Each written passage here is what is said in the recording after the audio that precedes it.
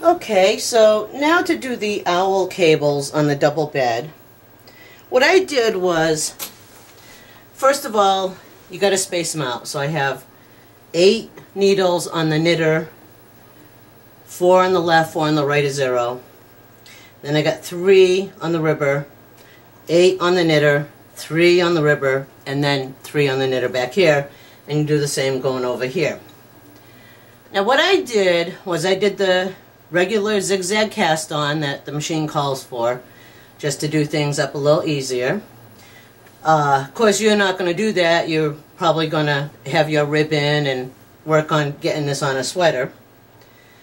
then what I did was I took all the stitches from the knitter, transferred them to the ribber, and I knitted a few rows. Not sure how many, but when you have cables, you want to have the purl stitches around them. That's why there's the three needles on the ribber in between the eight up here. Because this is going to, instead of reforming, like I showed you on the flatbed, this is going to be doing the reforming for you, or just making the purl stitches. So now, you're going to take your transfer tools, and you're going to cable them over just like you did before. So what I do is I'm going to take one needle from back there that's out of work so I could hang my transfer tool over there to the left. Then I take the two center stitches and then transfer them over. Then I take the other tool, if I can get it off the hook there, make sure put put that needle back out of work and then I transfer those two stitches over. Now you want to be careful because there's times I have done cables and the one stitch doesn't transfer over completely. Now this is where it gets a little tough because I'm pulling the center stitches over and this is probably where I have goof so I just make sure that's fine. Then I take the other two stitches and transfer them over to the left.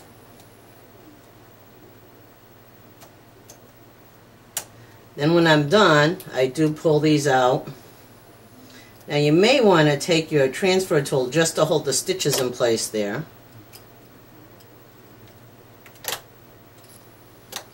For the bond machines, you're going to pull them out to hold in position, but then you're going to push them back to the forward working position. But for these other machines that automatically do the knit in for us, we don't have to worry. We could keep them out like that. So now just go ahead and you're going to take the other set of eight stitches and cable them over like I just did.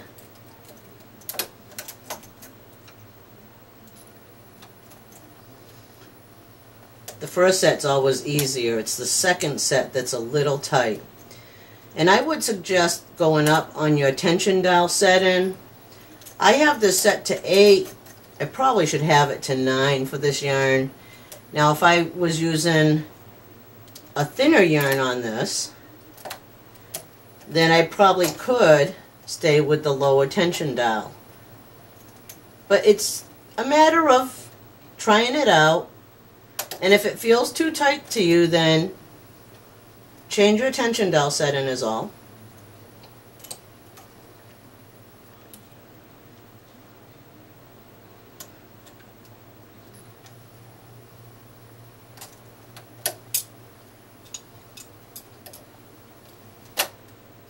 Oh, gotta make sure I put that out of work so it doesn't knit up.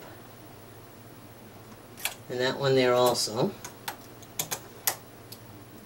Now what I'm doing, and I'm going to move the camera after this, is I'm just putting my transfer tool underneath the needles to hold that yarn so that it doesn't pull the yarn out.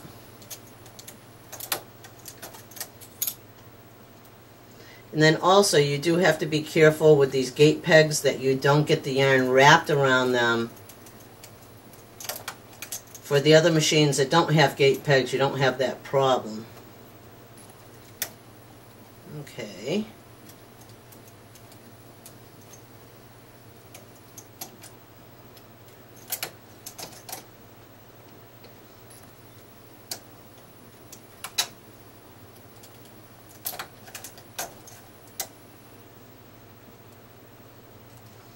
Now some yarns may stretch a little bit more than other yarns and that's what's going to help you when you're doing this. If the yarn's not too stretchy then that's where you're going to need to fool around with your tension dial set in to see what is what. Okay, so now I'm done with that and I'm going to knit eight rows. I don't know if you could see the needles, how they're close together. And that's another reason for having them out like this. It will knit them a lot easier. Just go slow on the first row.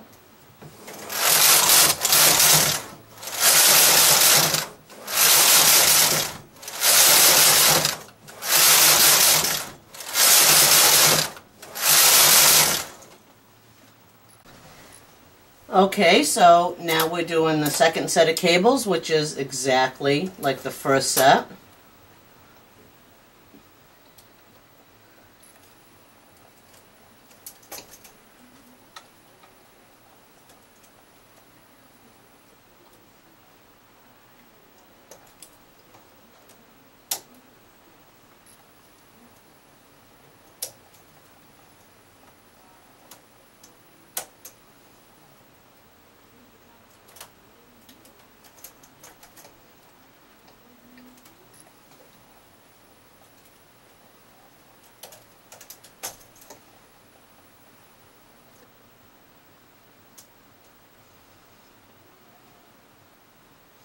And sometimes I'm able to get my fingernails in here to help bring those stitches back.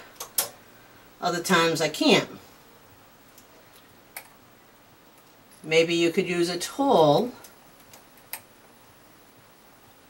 Let's see if I was to take the other tool. No, it's not really doing much. So I just need to you could probably take just one part of the tool to hold them down. Now I'm going to leave those there so they don't get in the way while I'm doing the other transfers.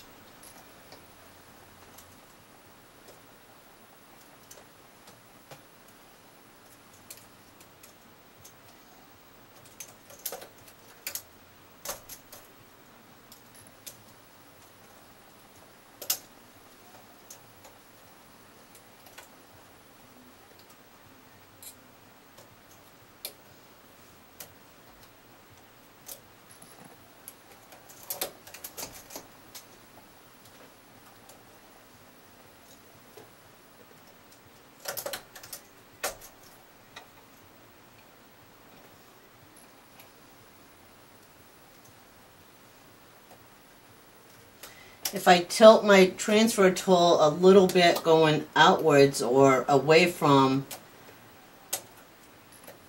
see in the center stitches when I go over there I tilt it to the right but here I would tilt it a little bit to the left and that kind of helps get it on. If you're using just the single prong that works a lot better. Uh, the triple prong it may not work that good but I'm finding that the double prong is doing pretty decent.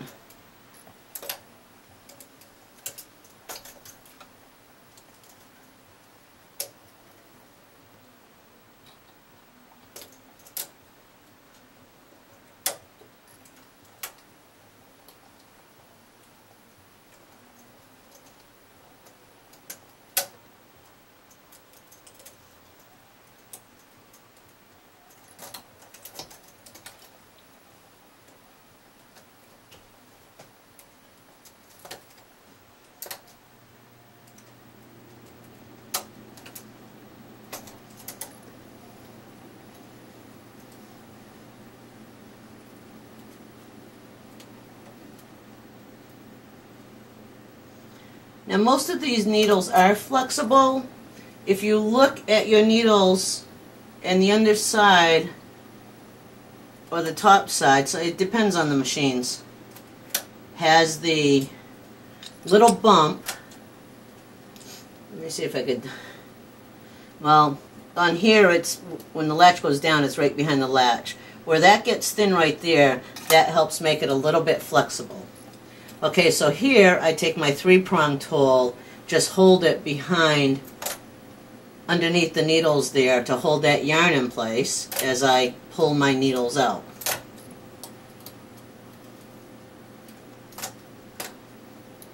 That way you don't have to fudge with trying to push them back.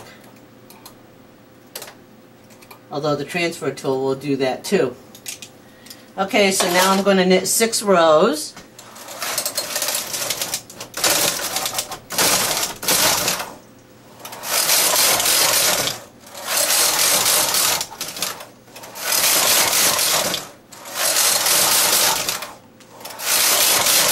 And then I'm going to repeat the cable one more time on these. And then after that, I'm going to show you how I put the stitches onto the ribber to make the purl go around the cables to make the owl pop out a lot better. Okay, so I'm taking my double-eyed needle, and as you say, I already took these stitches and they're over to the ribber. And I just, this is done one at a time. And I just take the stitch off the knitter needle and be, see, that's why it's double-eyed, so that you could take and put that stitch right on the ribber needle. Uh, I did forget to mention that I have my racking indicator, well, I think it's off. I have, I have it where the gate pegs line up. Yeah, I'm off a little bit by both. But that's fine. I mean, as long as the gate pegs line up, you'll be able to do it this way.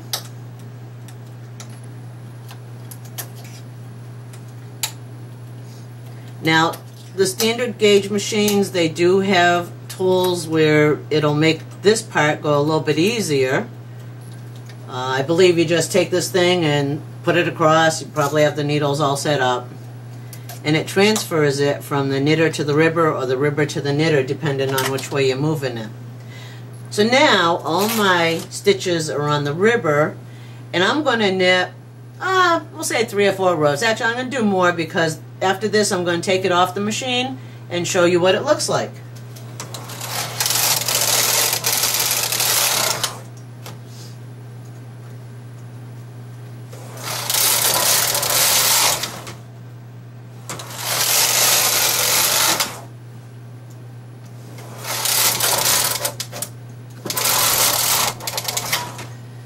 One thing I do notice I have to do is just grab my cast on comb from underneath and pull it down so it pulls the stitches. It automatically does that when you have the stitches on the knitter also, but when you only have it here on the ribber, it is a little bit harder.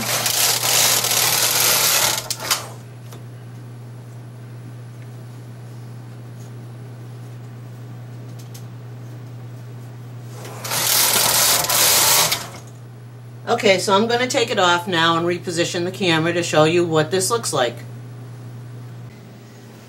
Actually, I do have to mention that before you take them off, you do want to take your barrel weights off. You could probably leave your cast on comb on, no problem. And then what I do is I will hold the comb underneath, although I should put my ribber down one notch or even both notches so that I could get it off easier. And then I just slide my carriage across and the stitches come off, well most of them. The ones that didn't, I just pull up.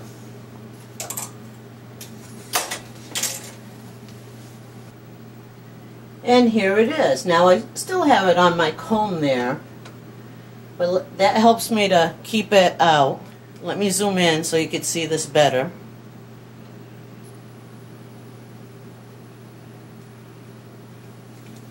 So I have the purls going all around the owls. And I would take a couple little googly eyes and just sew them in place. I want to make sure they're sewn in place and not glued. Uh, if you have little buttons, you could do that too. And after you take this off the comb, you do want to kind of just play with the material, stretch it out, let it sit a little bit, and these little parts here will draw themselves in. But there you go.